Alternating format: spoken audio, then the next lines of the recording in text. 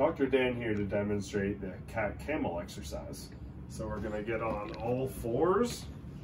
We're gonna start, start in a nice neutral position. And then you're gonna try to arch the back and flatten the back. Arch the back and flatten the back. We'll try that 10 times each direction. Again, that is the cat camel exercise.